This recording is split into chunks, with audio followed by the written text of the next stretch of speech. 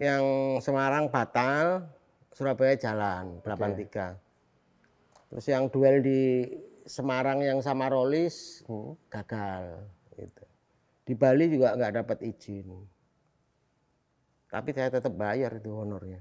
Oh. Zaman itu kan orang yang ngundang band-band rock itu kan kebanyakan kabur, Hmm. nggak bayar.